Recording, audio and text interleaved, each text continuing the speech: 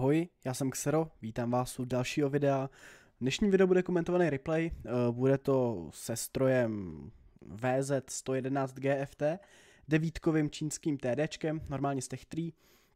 Uh, předtím, než se pustíme do samotné bitvy, tak si k tomuhle stroji něco málo řekneme. Uh, vlastně tenhle stroj jsem, nebo takhle, tuhle tu linii jsem expil ještě před mojí dlouhou pauzou. Skončil jsem s tím, že jsem se vyexpil osmičku, a e, potom, co jsem začal znova hrát, což je ani ne týden, a tak jsem přeexpil osmičku a devítku. Osmičku jsem přeexpil poměrně rychle, protože uh, byly permanentní dvojnásobky, tudíž s boostrama na XP to šlo poměrně dost svižně. No a uh, dostal jsem se i na devítku. A devítku, uh, tu jsem hrál úplně ve stoku, vlastně to, tenhle tank uh, má jako stokový dělo uh, tu, tu 130, co má ta osmička, topový dělo, topová 150 nebo co to je, stojí 67 tisíc expů a pásy na tomhle stroji stojí 28,5 tisíce expů. Já jsem to hrál ve stoku, protože díky eventu, který probíhal, tak byly permanentní pětinásobky. Podle, měli jste na, ur, na určitém tanku tolik násobků, kolik jste měli devítek v garáži. Takže jsem si nakoupil, rozprodával jsem osmičky, nakoupil jsem si devítky, abych měl co nejvíc právě pětinásobků. A mm, teďka řeknu úplně přesně, uh, vyexpení tohoto tanku ze stoku a na to našetřit 350 tisíc Eh, na tu desítku, což je mimochodem s 268 nejdražší desítka, tak stojí 445 eh, tisíc expů. A já jsem tenhle stroj přeexpil za 54 bitev. Právě díky pětinásobkům a fialovým boostrům na XP, což v průměru házelo úplně bez problémů 14-15 tisíc zkušeností za bitvu.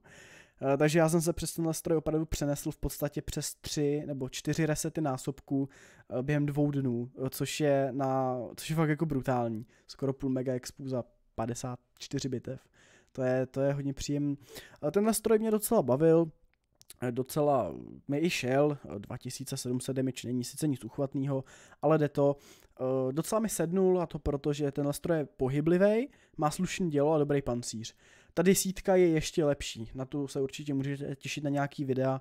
Ta desítka mi zatím opravdu jde uh, za 20 bitev, mám na tom stroji uh, 3500 AVG, uh, 80 solo win rate, což je hodně slušný. Protože tenhle ten stroj je pře- hybrid mezi 268 a prasetem. 268 uh, díky pohyblivosti, a má to podobný pancíř jako právě Jachpanzer.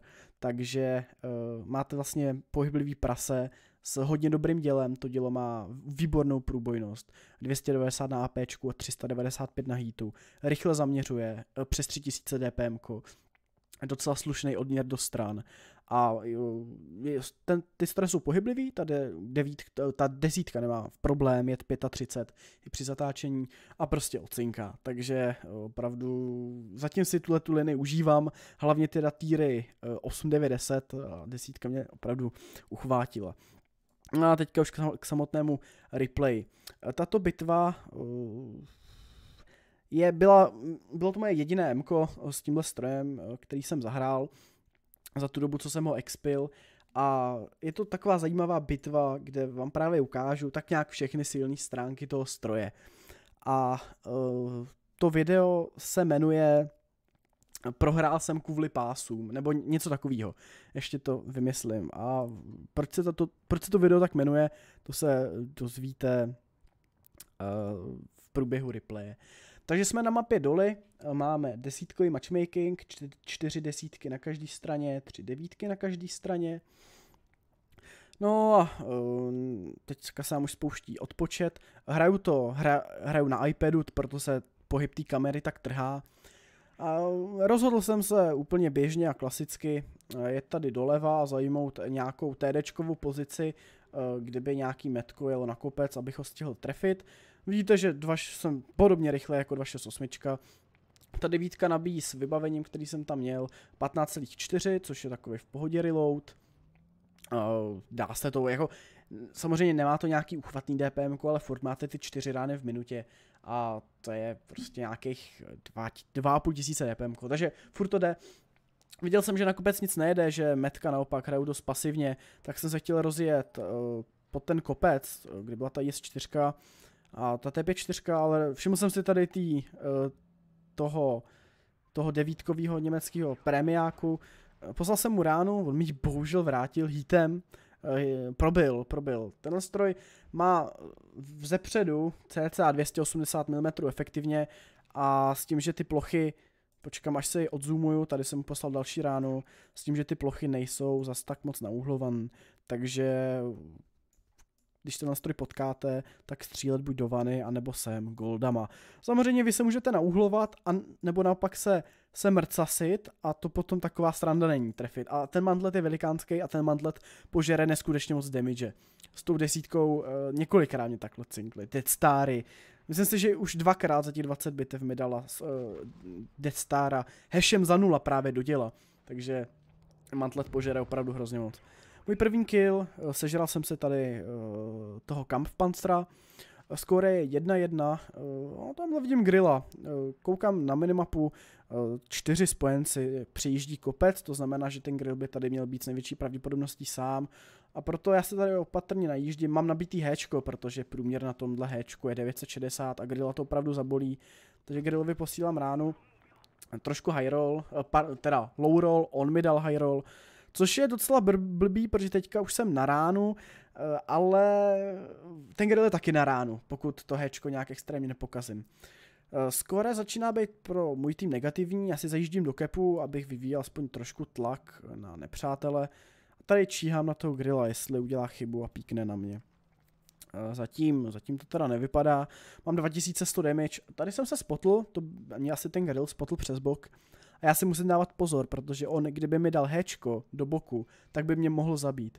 Tadyhle uh, jsem mohl střílet, tenhle ten domeček je průstřelný, ale já kdybych eh, vystřelil, tak mu dám za 600, za 700, ale nezabiju ho a on, on by mě dorazil.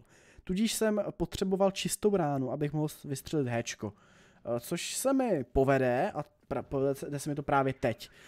Najela mi na bok T54, dala mi za 300 přesně, zbylo mi 51 hápek, no a uh, najíždí na mě, najíždí na mě a cinkl mě, cinkl mě APčkem, takže už mám necelých 800 damage na cinkáno. Skoro je dorovnaný, mám 3 killy, uh, mám 3 killy, 3000 damage.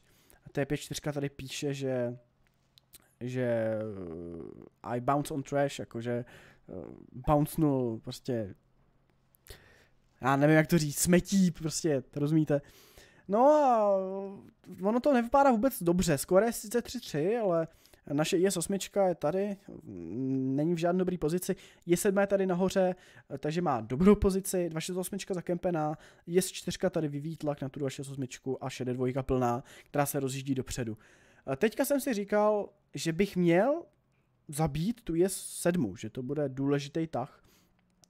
A proto jsem se taky uh, rozhodl na ní najet. A tady, tady mi chyběl malinký kousíček deprese a bohužel jsem mu cinkl uh, bok věže nauhlovaný.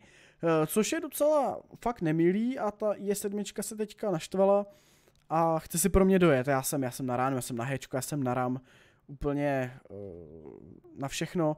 Tadyhle si dávám pozor, on, vidíte, že on nestřílel, protože je 7 má fakt slabou pene na goldech, i na goldech má jenom 303, já jsem byl nauhlovaný, takže on si musel najít taky nějakou lepší pozici a zamířit. A teďka jenom čekám, jestli ta IS-7 neudělá chybu a nenajede na mě moc tím bokem a budu doufat v roll. To se právě teď stalo, uh, cinkl mě goldem, to jsem poznal podle toho, že do mě cinkl 390, jinak má alfu 460, ale mě ten roll nepadl teď jsem se modlil, uh, ať uh, mě nezramuje, a teď jsem se modlil znova. Uh, ta IS-7 má hrozně málo HPček. Uvidíme, kolik má HPček? 39 HPček má. Já bych ho mohl zabít héčkem, ale já mám velký dělo a to héčko by mě mohlo splešnout a zabít mě. Takže jsem to zkusil, protože boky je sedmičky by mě mohly potrolit, takže jsem radši zkusil to héčko. No a v této fázi hry mi už ty hečka došly.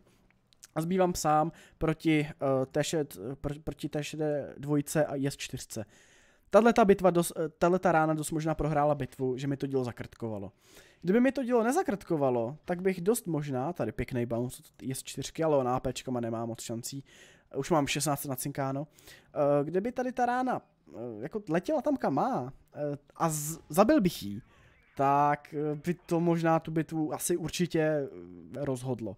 Je čtyřka do mě zkusila hečko, naštěstí mi dala jenom za 39 a nezabila mě, mám poslední 12 hápek. A teďka se stahuju, protože uh, já nemám moc deprese, T62 má silnou věž, takže on by mě mohl jenom píknout, dát mi golda nebo hečko a zabít mě, takže já se stahuju, aby na mě musel najet, což uh, jako byla asi nejlepší varianta, kterou jsem mohl teď udělat. Mám čtyři kily, už teďka jsem v té bitvě to udělal určitě nejvíc. Zabijím i S4, která na mě najíždí. A teďka, najíždí na mě šede dvojka. Najíždí špatně, točí mě, chce mě točit.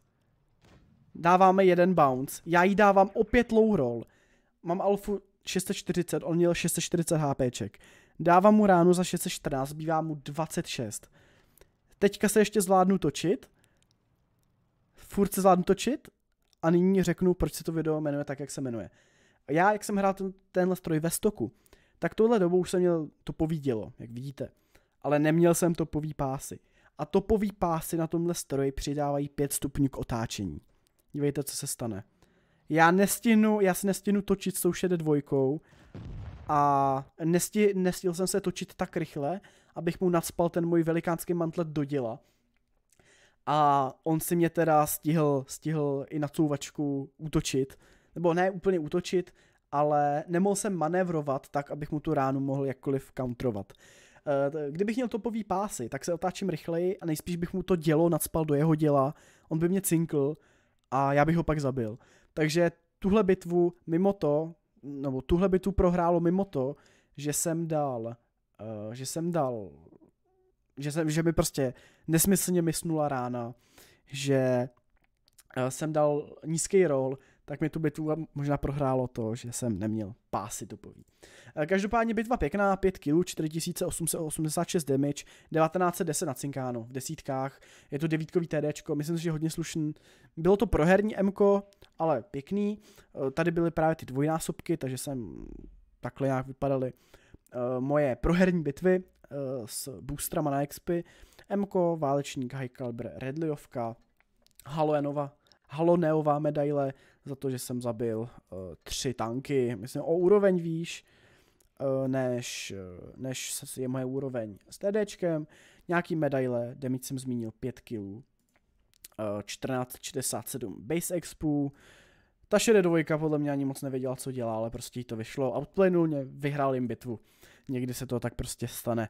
Můj tým, mm, bohužel tady fakt se toho moc nedělo. 268 zkusila něco zahrát a pady, tak ty pak už to byla tragédie. Vystřelil jsem 12krát, 11krát jsem trefil, uh, eh, 11krát jsem trefil, 10krát jsem penetroval. Uh, jeden, byl tam jeden bounce na tu J7 a pak jeden, uh, jeden miss, tam jak mi to zakrtkovalo na tu šedé dvojku. Mám tady ještě 422 asist, nevím za co, ale mám jí tam. Uh, takže tohle by bylo teda uh, devítkový čínský terečko VZ111 GFT, velmi slušný stroj, uh, jakmile ho dostanete do topu, tak je i zábavný, protože si docela drandí a to dělo je prostě vražen. V osmičkách nemáte problém párat hečkama za tisíc do boku, což je hrozně moc příjemný. A jediná nevýhoda je teda, že ten Unstock je drahý, to dílo stojí 67 tisíc. Motor máte už uh, z čínských Hevin, takže pokud jste, už máte čínský Heviny a jste na desítce, tak motor nemusíte řešit. No a pak vás teda čeká 350 tisíc expů na tu desítku, uh, což je opravdu nemilé. Mm, doporučuji počkat si na nějaký další event, protože 350 tisíc expů uh, může být klidně 300 bitev s prémkem, protože samozřejmě nějaký prohry a tak. A já jsem měl to štěstí, že byl prostě event a za 54 bitev jsem to stihl nějak odehrát. Tak jo, uh, já vám moc krát děkuji za sledování, pokud se vám video líbilo, budu moc rád, že když ohodnotíte lajkem, taky můžete odebírat můj kanál, aby vám neunikla další videa z mé tvorby. A dole v popisku videa je odkaz na můj Twitch kanál, kde opět začínám po mé pauze streamovat. Tak jo, uvidíme se někdy příště, zatím se mějte moc hezky a ahoj.